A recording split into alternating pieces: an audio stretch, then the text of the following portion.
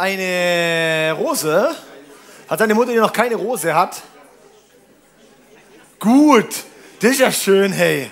Herrlich. Der Mother Day. Voll gut. Hammer. Gott sei Dank ist da die Genderbewegung noch nicht so eingetroffen. Ne? hey, so gut. Wow, ey, ich freue mich heute auf die Message. Und ähm, ey, ich, ich, ich, ich starte gleich rein. Ist es gut?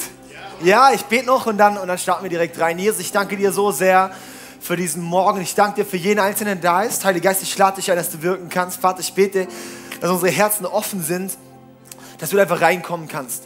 Jesus, ich danke dir dafür, dass du, ähm, dass, dass du heute wirklich unser, unser, unser Mindset sprengen möchtest, um, um einen Blick von uns weg zu haben, noch weiter auf unser Umfeld. Und ich danke dir dafür, dass du einfach mit deiner Power heute kommst und uns begegnest. Amen. Amen. Hey, so schön. Ähm, heute sind wir nach wie vor in der Serie Komm nicht mehr in die Kirche. Ich liebe diesen, ich liebe diesen Predigttitel einfach, weil das ist, äh, diesen Serientitel, weil der ist einfach ziemlich, ziemlich provokant. Ja, also ihr habt es alle nicht eingehalten, kommt nicht mehr in die Kirche. Nee, natürlich, ähm, weil genau darum geht es. Komm nicht nur in die Kirche, sondern sei die Kirche. Ja, und das ist wirklich so unser, unser Anliegen, dass du in diese Kirche oder wo auch immer du vielleicht herkommst, dass du einen Ort findest, wo du gepflanzt bist. Ja, so weil, weil, weil Gott hat da so viel vor, wenn du gepflanzt bist. Die Sache ist, wenn du nicht gepflanzt bist, kann nichts passieren, kannst du nicht wachsen. Ja, und darum ist so wichtig, gepflanzt zu sein und dann nicht nur zu kommen als Konsument, sondern, sondern wirklich da, da wirklich zu erleben, was Gott machen möchte. Und für uns, wie Sarah vorhin schon gesagt hat, hey, Kirche ist für uns nicht irgendwie also auf das, was ich wirklich keinen Bock habe, ist nur eine coole Kirche zu sein. Nur eine Kirche zu sein, wo es irgendwie so, so dass wir halt gut machen. Dass wir einen guten Lobpreis haben, eine gute Predigt haben, wo alle rausgehen und sagen, das war ein gutes Wort.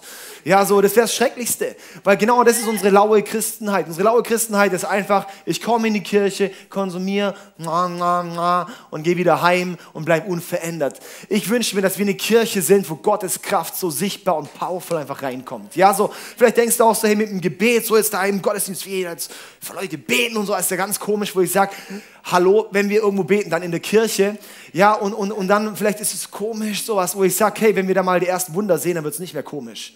Ja, weil dann wird es sein, dass du deine Freunde bringst, weil, ja, ich habe einen gebrochenen Fuß, ey, komm doch, ey, ich habe Depression, ey, komm doch in die Kirche, ey, ich habe meine Ehe ist völlig am Arsch, ey, komm doch in die Kirche, ich habe Krebs, ey, komm doch in die Kirche, da beten wir für dich, du wirst geheilt. Ja, die Sache ist einfach, wir sind gerade auch in einer gewissen Weise im Transfer, wo wir auch, auch immer mehr erleben, wo Gott wirkt. Und das ist unser Anliegen. Und dazu brauchst du manchmal einfach Gehorsamsschritte. Einfach manchmal diese Schritte, wo ich sage, hey, und ich bin mutig und, und probier's. Und ich bin mutig und trau mich einfach mal. Ja, so, hey, wir singen fearless, aber leben nicht fearless. Ja, und dass das wirklich auch was ist, da furchtlos zu leben. Und ich sag dir eins, der Teufel, den juckt überhaupt keine coole Kirche, den juckt keine Larifari-Kirche, den juckt keine Konsumentenkirche, aber den juckt eine kraftvolle Kirche. Ja, so, und das ist mein Anliegen, Teufel so richtig das Leben scheiße zu machen. Ja, das ist mein Anliegen. Okay? Come on. Ey, ich gehe heute, ähm, heute in einen Bibeltext im Alten Testament und ich liebe das Alte Testament. Ja, so, weil ja, das ist einfach kraftvoll. Ja, und da gehen wir in den 1. Mose äh, in Kapitel 4, das ist ziemlich am Anfang. Und da lese ich uns ein paar Verse vor. Ihr könnt gerne eure Bibel mal rausholen und äh, können wir dann gerne mal aufschlagen. Das ist ganz am Anfang 1. Mose Kapitel 4. Da heißt, Adam schlief mit seiner Frau Eva und sie wurde schwanger. Punkt. Ja, heute reden wir über Muttertag. nee, okay. Ähm, das hat ein paar gedauert, gell? So, okay. Also, wie funktioniert das? Komm nicht mehr in der Kirche. nee, okay. Also, stopp, okay. Also. Okay, okay, okay. Das war so ein bisschen. Äh. Also, und es geht weiter. Und sie brachte keinen zur Welt und sagte, okay. Und sie brachte keinen zur Welt und sagte, mit der Hilfe des Herrn habe ich einen Sohn geboren. Später brachte sie einen Okay, also später brachte sie einen zweiten Sohn zur Welt und nannte ihn Abel, also zusammengefasst Kain und Abel. Abel wurde ein Schafhirte, Kain ein Bauer. Nach einiger Zeit opferte Kain dem Herrn einen Teil seiner Ernte. Und auch Abel opferte ihm den erstgeborenen von den erstgeborenen Lämmern aus seiner Herde und von ihrem Fett. Der Herr sah wohlwollend auf Abel und nahm sein Opfer an. Kain und sein Opfer jedoch wies er zurück. Da wurde Kain sehr zornig und er blickte grimmig zu Boden. Wie cool ist es, oder? Ey, wir, das ist ziemlich politisch inkorrekt. Wir haben einen richtig politisch inkorrekten Gott. Wie den einen nimmt der an, den anderen nicht. Die haben doch beide geopfert. Gott, hä? Ja, so, das ist doch Diskriminierung. Gott, Diskriminierung. Ich habe doch und, und ich habe dir doch was gegeben, so. Warum nimmst du das nicht an? Ja, und dann schauen wir mal, wie es weitergeht. Warum bist du so zornig? fragte der Herr Kain. Warum blickst du so grimmig zu Boden? Ist es nicht so, wenn du Gutes im Sinn hast, kannst du frei umherschauen? Wenn du jedoch Böses planst, lauert die Sünde dir auf. Sie will dich zu Fall bringen, du aber sollst über sie herrschen. Später schlug Kain seinem Bruder Abel vor, komm, wir gehen aufs Feld hinaus. Als sie dort waren, fiel Kain über seinen Bruder her und schlug ihn tot. Da fragte der Herr Kain, wo ist dein Bruder Abel? Ich weiß es nicht, entgegnete Kain. Soll ich etwa ständig auf ihn aufpassen oder eigentlich korrekt heißt, bin ich meines Bruders Hüter? Doch der Herr sprach, was hast du getan? Hörst du nicht? Das Blut deines Bruders schreit zu mir. Deshalb sollst du verflucht sein und musst den Acker verlassen, den du mit dem Blut deines Bruders befleckt hast. Er wird keinen Ertrag mehr bringen, auch wenn du so hart arbeitest. Von jetzt an sollst du ein Flüchtling sein, der heimatlos von Ort zu Ort irrt. Kein entgegnete dem Herrn, meine Strafe ist zu hart, ich kann sie nicht ertragen. Du vertreibst mich heute von meinem Land und ich muss mich vor dir verstecken. Ich werde ein heimatloser Flüchtling sein, der von Ort zu Ort irrt. Jeder, der mir begegnet, wird mich töten. Doch der Herr antwortete ihm, wenn dich jemand tötet, sollst du siebenmal gerecht werden. Und er sagt, versah Kain mit einem Zeichen, damit niemand ihn töten würde.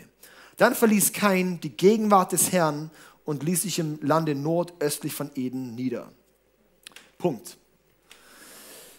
Wow, okay, da haben wir ein bisschen Material. Kurz zusammengefasst, Kain und Abel, zwei Brüder, sozusagen die ja, Kinder von den ersten Menschen, Adam und Eva. Darum ist ganz am Anfang in der Bibel. Kain opferte etwas von seinen Früchten, von seiner Ernte. Abel opferte den ersten Teil seiner Lämmer. Gott nimmt Abels Opfer an, die Lämmer, und Kain sagt dann, nee, das nehme ich nicht an. Dann ist Kain sauer auf Abel, bringt Abel um und äh, dann fragt Gott ihn, ja, wo ist dein Bruder? Und er sagt, keine Ahnung, bin ich meines Bruders Hüter und so weiter und dann im Endeffekt äh, ist mit Kain vorbei. Was ich so krass finde bei dieser Stelle und ich möchte da, uns ein bisschen da ausholen und zwar, die Bibel ist das Wort Gottes. Das ist extrem wichtig, dass wir das wissen, dass die Bibel das Wort Gottes ist. Ja, also die Bibel, da heißt in Jesaja 40, Vers 8, das Gras verdorrt und die Blumen welken, aber das Wort des Herrn hat für immer Bestand. Das Wort des Herrn hat für immer Bestand. Das heißt so in der Bibel, auch in Johannes 1, am Anfang war das Wort und das Wort war bei Gott und das Wort war Gott. So das Wort Gottes war bei Gott, das Wort war Gott und es geht auch um Jesus, dass er das Wort Gottes ist und die Bibel ist das geschriebene Wort Gottes und hey, darum ist die Bibel ist das Wort Gottes. Das müssen wir verstehen, dass die Bibel nicht nur ein Geschichtsbuch ist. Viele lesen die Bibel als ein Geschichtsbuch. Oh, lass uns mal ein bisschen jüdische Geschichte lesen. Mhm. Kein tötete Abel, spannend, hört sich ja komisch an. Zuschlagen, tschüss Gott. Ja, so lesen viele Leute die Bibel. So, und so sehen auch viele Leute die Bibel. Aber wenn wir verstehen, es geht da nicht in erster Linie nur um die, um die Geschichte, es geht um die Kraft, die dahinter steckt. Es geht um das Leben, das da drin ist. Es geht, hey, wenn das das Wort von Gott ist, dann schenkt es Leben. Wenn Gott spricht, wir sehen die ganze Bibel voll. Gott sprach und es wurde. Die Schöpfung, Gott sprach und es wurde Licht. Gott sprach und es wurde. Gott sprach und es wurde. Gott sprach und es wird in meinem Leben. Und das ist die Bibel. Darum ist es so wichtig, dass wir die Bibel kennen. Nicht für unser Bibelwissen, nicht, dass wir ein bisschen Geschichte kennen, sondern es geht darum, dass wir das Wort Gottes kennen und anwenden können in unserem Leben als Kraft, als Waffe. Ja? Dass Gottes Geschichte in meinem Leben auch zum Vorschein kommt. Das Ding ist da eben, hey, wenn das lebt, dann ist auch diese Geschichte, hier zum Beispiel mit Kain und Abel, ist zwar, ja, das ist schon irgendwie eine Geschichte, aber die Geschichte wiederholt sich eigentlich immer. Bis heute wiederholt sie sich nur mit einer anderen Besetzung. Und wenn wir so auch die Bibel lesen, hey, du liest da vielleicht die Geschichte von Kain und Abel, und wenn du es zuschlägst und sagst, okay, schön Kain und Abel, dann hast du nichts daraus gelernt. Die Sache ist, die Geschichte von Kain und Abel wiederholt sich bis heute nur mit einer anderen Besetzung. Und genau das ist der Schlüssel, dass wir erkennen, hey, wir wollen wirklich diesen, diesen, diesen, diesen, diese Mentalität, diesen Geist von Kain, der ist heute noch so krass da. Der ist heute so massiv in den Kirchen drin, der ist heute so massiv in der Gesellschaft drin, dieser Spirit vom Kain, dieser Geist vom Kain, diese Mentalität von Kain. Und darum heißt meine Predigt heute der Kain-Killer. Ja, kein Killer. Also nicht kein Killer, sondern kein Killer. Wir killen keinen, oder? Aber wir nicht, nicht ihn, sondern wir killen die Mentalität von Kain bei uns. Dass das unser Anliegen ist, komm nicht mehr in die Kirche, Mann. Ey, lass uns den Kain killen. Ja, lass diese Mentalität von, diese Mentalität, die kein hat, die wollen wir hier nicht. Das ist kein Ort, wo diese Mentalität einen Platz hat. Und dann habe ich uns ein paar verschiedene Punkte. Ich schaue mal, ob ich alle rausbringe oder in zwei Wochen habe ich sonst noch eine ganze Predigt, wo ich da nochmal, genau, also ich fange einfach mal an und wir schauen mal, wo ich ende. Mein erster Punkt ist, sei der Hüter deines Bruders oder deiner Schwester. Sei der Hüter deines Bruders, sei der Hüter deiner Schwester. Woher nehme ich das? wo kein Abel umgebracht hat. Und dann kommt Gott zu ihm und stellt ihm die Frage. Und wenn Gott eine Frage stellt, ist es nicht, weil Gott die Antwort nicht kennt. Das ist in der Bibel nie so, auch wenn Jesus fragt, was? Wenn, wenn er sich fragt, oh, wie ist das bei dir? Sowas. Ja, so dann ist es nicht, weil Gott, ah, ich habe so viele Dinge im Kopf, das habe ich jetzt vergessen. Ähm, äh, ähm, ach, kein. Hey, mit dir, Adam, Eva, vielleicht hat die irgendwie, keine Ahnung, Frauen oder sowas. Ja, so, ich bin ein bisschen überfordert, den, den Abel, pff, wo ist denn der? Ich sehe den gar nicht. Ist er hier? Nee, kein, erzähl mir doch mal, wo ist dein Bruder? Das ist nicht so, sondern Gott stellt dir eine Frage, dass du selber die Antwort findest. Das ist so ein Schlüssel, ja, dass du wirklich deine Antwort findest, dass Gott quasi durch seine Frage an dich möchte eigentlich die Antwort zu dir bringen. Und was ich dort so sehe, hey, aber kein antwortet dann, was Gott? Woher soll ich das wissen? Bin ich denn meines Bruders Hüter? Und was es eigentlich vielmehr heißt, ist, natürlich bist du deines Bruders Hüter. Natürlich hast du Verantwortung für deinen Bruder. Natürlich hast du Verantwortung, da zu stehen und zu schauen, was passiert mit dem. Und das ist eine Mentalität, die sehe ich, die haben wir so gerne in Kirchen drin. So diese Mentalität von keinem so, was geht der mich an? Ich habe mein eigenes Leben. Was juckt der dort hinten? Mich? Ich habe meine eigenen Probleme. Und diese Mentalität, das ist, wie so eine Mentalität von Kain, die bis heute noch da ist. Und das ist eine Mentalität von einem Mörder. Eine Mentalität von einem Mörder heißt, was, bin ich meines Bruders Hüter? Bin ich für meinen Bruder verantwortlich? Und die Antwort ist ja, bist du. Diese Mentalität von einem Mörder, die schiebt Verantwortung weg von sich. Wenn du Verantwortung weg von dir schiebst, wenn du vielleicht hier reinkommst und einfach alle Verantwortung weg von dir schiebst, sage ich dir, das ist nicht nur Verantwortung wegschieben, sondern es ist keine Mentalität, die du hast. Und es ist extrem ungesund. Das wird dich kaputt machen, das wird andere kaputt machen. Weil am Ende war es eine Lose-Lose-Situation. Abel war tot, er hat alles verloren. Das ist, wenn wir Verantwortung nicht übernehmen in unserem Leben. Wir sind eine Church, wir sind eine Kirche. Wir, ey, come on, wir sind eine Kirche, wo Ownership ist wo wir sagen, Ownership kommt von Eigentümerschaft. Ja, also wo Leute da sind und sagen, hey, das ist meins. Ich übernehme Verantwortung. Ich liebe zum Beispiel Simon, unser FSJler, unser BFDler, der kam beim Bewerbungsgespräch zum BFD letztes Jahr und hat schon beim Bewerbungsgespräch von uns als Kirche geredet. So, hey, ja, und wie machen wir das denn so? Er hat schon vom ersten Moment an, wo wir ihn überhaupt noch nicht mal akzeptiert hatten als BFDler, hat er schon vom Wir geredet. Komm on, wir als Church. So, ja, und diese Mentalität, das liebe ich so krass. Weil man einfach merkt, wie er, ich meine, Simon, hey, auf dem pff, baut brutal viel auf in dieser Kirche mittlerweile. Ja, so. Und darum lassen wir ihn auch nicht gehen. ja, so, diese, ist es eine Ihr-Mentalität oder eine Wir-Mentalität? Ist es ein Ihr macht oder wir machen? Bei euch ist es komisch, bei uns ist es komisch. Wenn es bei uns komisch ist, dann bin ich die Veränderung. Wenn es bei euch komisch ist, macht ihr, was bin ich meines Bruders Hüter? Und wir bauen hier Verantwortung, wir bauen Leiterschaft. Uns ist Leiterschaft ein wichtiges Thema. Und Leiterschaft heißt nicht nur, nicht nur Manager zu sein, sondern Leiterschaft heißt, jeder von uns ist ein Leiter eigentlich. Weil es fängt schon in deinem eigenen Leben an, Verantwortung zu übernehmen. Fängst schon in deiner eigenen Gottesbeziehung an, Verantwortung zu übernehmen. Du bist ein Leiter von dir selbst. Das ist schon mal bewusst gewesen? Ich bin halt kein Leiter. Doch, du bist ein Leiter, aber vielleicht auch nur von einer Person. Spätestens, wenn eine Familie kommt, hast du Verantwortung für mehr Leute. Spätestens da solltest du Leiterschaftsprinzipien kennen, Verantwortung übernehmen. Das ist der Riesenfluch, den wir heute haben. Väter und Mütter, die übernehmen nicht, vor allem Väter übernehmen nicht Verantwortung in Familien. Riesenproblem. Wie wäre es, wenn wir hier in der Church anfangen, wenn hier ein Ort ist, wo Menschen in Verantwortung gebaut werden? Wo wir sehen, was, bin ich meines Bruders Hüter? Ja, natürlich. Auch von deiner Schwester, auch von deinem Sohn, auch von deinem Vater. Hey, und, und, und das bei uns zum Beispiel so, so ein Gefäß, unsere Small Groups, unsere Teams, ist ein Ort, wo wir sagen, ja, komm on, da haben wir Verantwortung. Unsere Leiter, die bauen wir so sehr darin, hey, habt einen Blick, habt einen Blick für euer Team, habt einen Blick für eure Small Groups, sowas, ja? Und es ist natürlich nicht perfekt, aber es wird immer besser, wenn du anfängst, es auch zu denken. Wenn du dich nicht gesehen fühlst, dann fang an, andere zu sehen.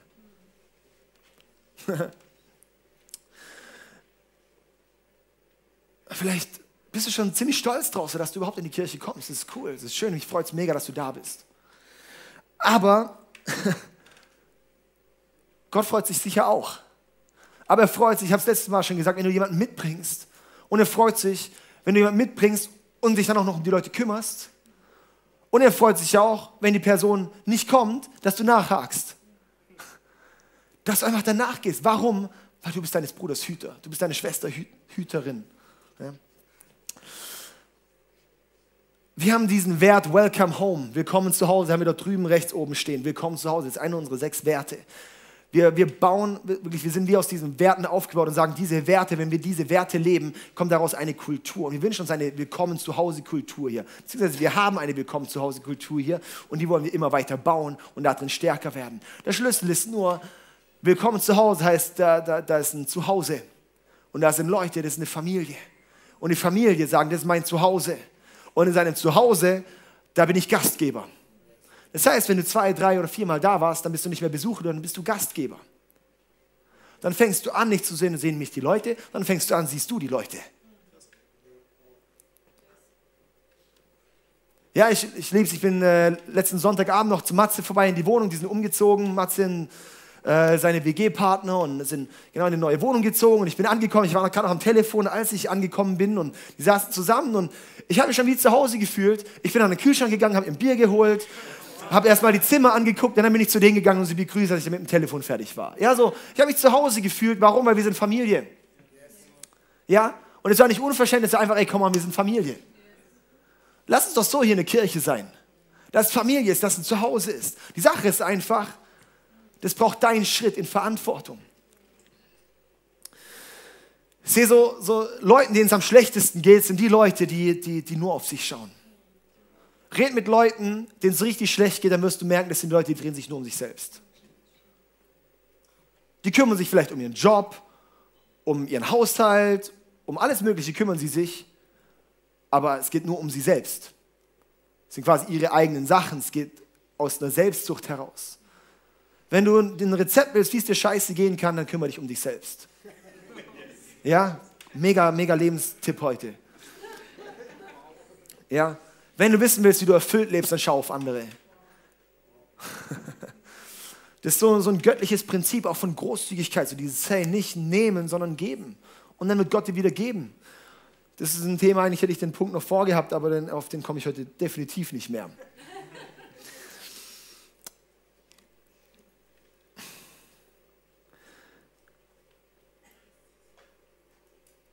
Ich sehe, ein Deckel kommt in der Kirche drauf, wenn Leute bereit sind zu nehmen und nicht bereit sind zu geben. Ein Deckel in der Kirche kommt an dem Moment, wo du bereit bist zu nehmen und es aufhört, dass die Leute bereit sind zu geben. Ihre Zeit, ihre Ressourcen, ihre Gaben, ihre Freundlichkeit, ihre Beziehung, Leute zum Essen einzuladen und so weiter. Wenn das aufhört, dann geht eine Kirche kaputt. Und an diesem Punkt, wir sind jetzt gewachsen, wir haben sonntags um die 240 Leute oder sowas, ja, mit inklusive Kinder. Und das ist eine Zahl, da kann man nicht mehr jeden Blick haben. Und das ist ein Schritt, wir gehen jetzt auch auf die zwei Gottesdienste, unter anderem, dass wir dort auch, auch die Möglichkeit haben, dort neu nochmal wie nochmal einen Be Be Blick füreinander zu bekommen. Aber die Sache ist, sie werden weiter wachsen, noch über 1000 Leute. Ja, so, da müssen wir einfach einen Blick bekommen für die Menschen. Mich hat es so bewegt, wir waren in den USA für vier Wochen in dieser Kirche. Und es haben nur ein paar wenige Leute gekannt. Die meisten haben uns natürlich nicht gekannt bei einer 8000 Mann Gemeinde. Und wir wurden so oft eingeladen zum Essen von irgendwelchen Leuten, wo wir nicht kannten. Das konnten wir gar nicht wahrnehmen, das ganze Essen gehen. Und die wussten nicht, dass wir die Pastoren aus Deutschland sind. Die sind einfach zu uns zu, hey, seid ihr neu hier, oder? Komm, lass uns doch essen gehen nach dem Gottesdienst. Ich möchte euch kennenlernen. Das hat mich so bewegt. Und das ist ein Schlüssel, warum die Kirche überhaupt so groß wurde. Weil die Leute haben die Mentalität von, ich sehe meinen Nächsten. Ich sehe, ich bin, bist du meines Bruders Hüter? Ja. Wir schieben es gerne weg aus Welcome-Team. Und wir haben ein Welcome-Team, die werden die Leute begrüßen. Wenn es dahin gekommen ist, dass Welcome-Team die Leute alles begrüßen muss, dann ist vorbei, dann können wir hier dicht machen. Dann werden wir noch irgendeine coole Show abziehen, dann wird es irgendwie cool sein. Wir werden ein bisschen einen Kern haben von Leuten, mit denen es nice ist, wo wir zusammen abhängen, wo wir zusammen feiern und sowas. Ja, aber es wird einfach eine, eine Anhängerschaft, aber keine Family. Es wird keine Veränderung in die Gesellschaft reinbringen. Warum? Weil Veränderung in die Gesellschaft kommt nur, wenn wir Familie sind, zusammengebaut werden, Gott uns gemeinsam baut, wenn wir gepflanzt sind. Ja? Hey, und, und das Ding ist einfach, ich weiß nicht, ob du schon mal ein Saatkorn in deiner Hand hattest, ja? Vielleicht ist dir aufgefallen, dass auf deiner Hand nicht gewachsen ist. Ja? Darum ist es auch noch ein Korn. Das musste runtergedrückt werden, dass es aufblühen kann, dass es wachsen kann. Das heißt, ein Korn muss gesät werden, muss gepflanzt werden, um zu wachsen. Und das ist die Kirche. Kirche ist der Boden, wo du gesät werden kannst, um zu wachsen. Eine Small Group ist der Ort, wo du gesät wirst, um zu wachsen. Ein Team, eine Band, ein Technik, ein Welcome-Team, ein Kids-Team, was auch immer, ist ein Team, wo du gepflanzt wirst und da wirst du wachsen. Es geht einfach immer besser zusammen. Okay, hey, und ich glaube einfach, lass uns diesen, wirklich, lass uns diesen, diesen, diesen, diese Mentalität von diesem Kein brechen hier, von diesem Verantwortung wegschieben von mir. Was, ey, bin ich meines Bruders Hüter? Ja, Mann, bist du. Come on. Okay, dann kommen wir zum nächsten Punkt. Oh, eigentlich, eigentlich der letzte Punkt ist eigentlich der beste, hey, aber da muss ich eine ganze Predigt draus machen. Ja, hey, weil pff, das ist viel zu schade, sich da nur eine Stunde aufzuhalten dabei. Also mein zweiter Punkt ist Kille Night. Ja, da ist wenigstens wieder Kille drin. Kille Night. Ich habe einfach gedacht, ich übernehme das K. Ja, ich habe noch überlegt, ich könnte lauter Ks sozusagen, kein Killer, Kille, Knight. Aber dann ist das K, das stimmt nicht ganz, darum ist es einfach Kille Night. Ja. Ähm, und es heißt, weißt du, sehe, hey, Kain hat einen Teil von seiner Ernte geopfert und Abel ein Erstgeboren von seinen Lämmern. Ich habe mich ganz lange gefragt, Gott, warum hast du Kain nicht angenommen und Abel angenommen? Wie unfair bist du Gott? Lag es vielleicht, dass es Früchte waren oder was auch immer? Ja, Vegetarier Kain, geht gar nicht. Nein, okay, okay, okay. Sorry, sorry, Veganer. Also, nee, nee, nee, Spaß. Nee, Spaß. Nee, nee, nee. Und, das, und ähm, nein, sorry, ich wollte jetzt keinem zu nahe treten. Ähm, es geht die Grillsaison wieder los, darum ist einfach ein bisschen wach dieses Thema. Ähm, okay, also, hey, der Schlüssel ist, kein heißt es, er hat einen Teil seiner Ernte Gott gegeben, Abel den, Erst, den Teil der Erstgeborenen seiner Lämmer. Und ist der Schlüssel, gibst du Gott nur einen Teil, quasi den Restposten, quasi das Fallobst, oder gibst du ihm den ersten Teil von dem, was Gott dir gegeben hat? Das ist das Prinzip vom Zehnten, dass du Gott nicht deinen Restposten am Monatsende gibst. Nicht so, ah Gott, ich habe noch ein bisschen Zeit über, könnte ich einfach noch ein bisschen was in die, in die Kirche geben. Das vielmehr ist, hey, der Erstgeborene, quasi, da tut's weh. Er weiß nicht, ob da noch ein Zweitgeborener kommt. Da ist das erste Lamm geboren, er wusste nicht, ob noch ein zweites Lamm kommt. Weil das ist ein Akt des Vertrauens. Gott möchte nicht, Gott geht es doch nicht darum, dass du ihm irgendwas gibst. Ihm geht es darum, ob dein Herz ihm gehört. Und wenn du ihm vertraust, wenn du ihm dein Herz gibst, dann gibst du ihm das Vertrauen, ja, und den ersten Teil. Darum geht am ersten des Monats, geht mein erster Teil weg.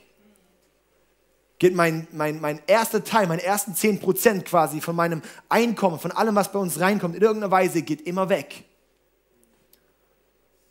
habe ich mal was Kleines geerbt, ging dort der erste Teil weg.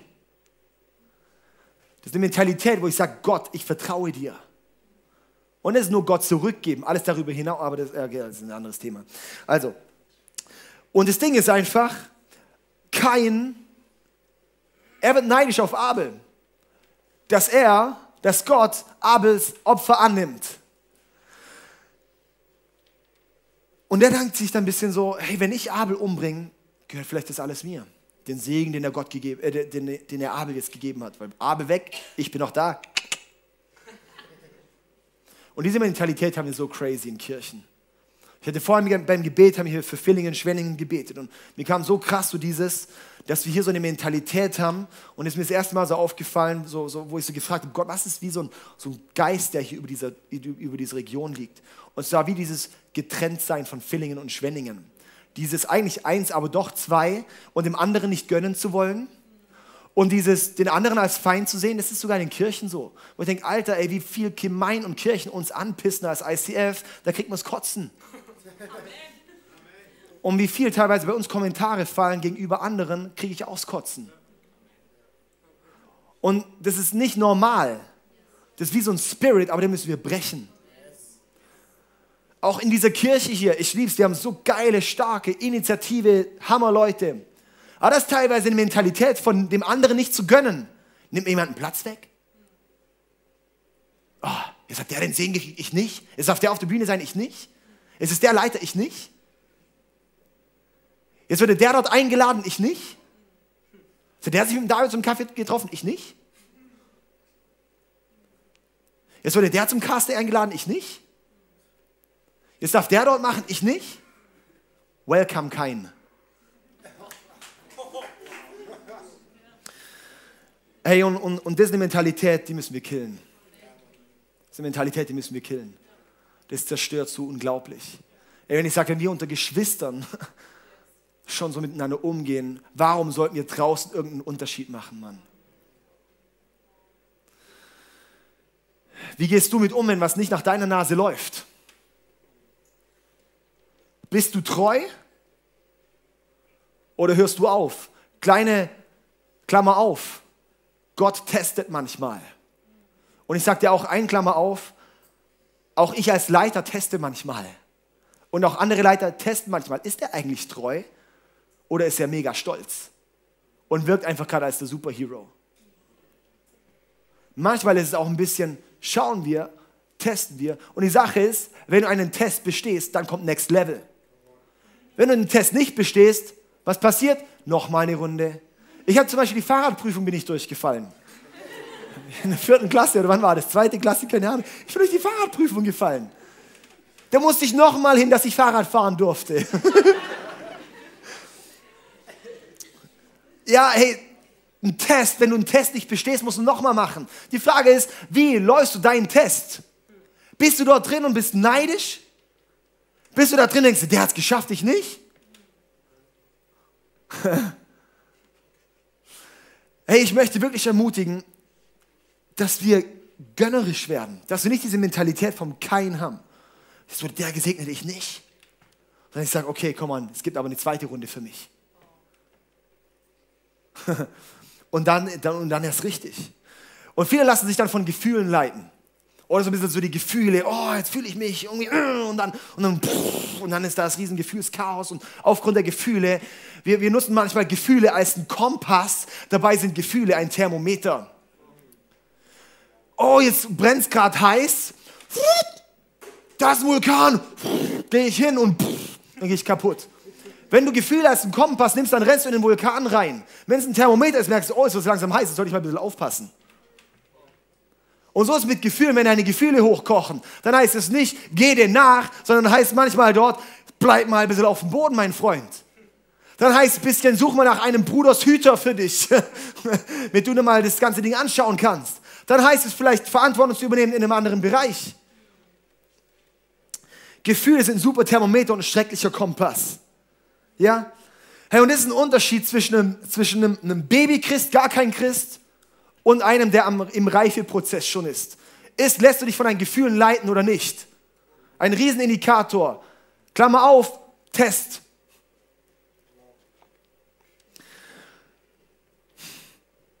Ein unglaublicher Schlüssel. Kein, ich fände es so krass, wo, wo Gott dann im Endeffekt dort mit Kain dann redet, als er ihn schon kurz bevor er ihn umbringen möchte, oder?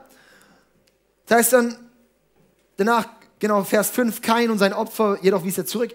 Und Gott fragte dann ihn, warum bist du so zornig, fragte der Herr ihn. Warum blickst du so grimmig zu Boden? Ist es nicht so, wenn du Gutes im Sinn hast, kannst du frei umherschauen? Wenn du doch jede, jedoch Böses planst, lauert die Sünde dir auf. Sie will dich zu Fall bringen, du aber sollst über sie herrschen. Wo Gott schon ihn konfrontiert und sagt, ey, come on, lass uns das ganze Ding anschauen. Er hatte die Möglichkeit, anders zu handeln.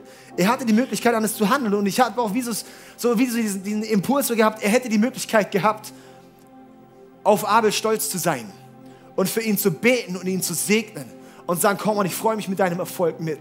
Und ich nehme mich dich als Vorbild dass ich in dieselbe Richtung gehe. Ich sehe dich nicht als Konkurrenz, sondern als Inspiration.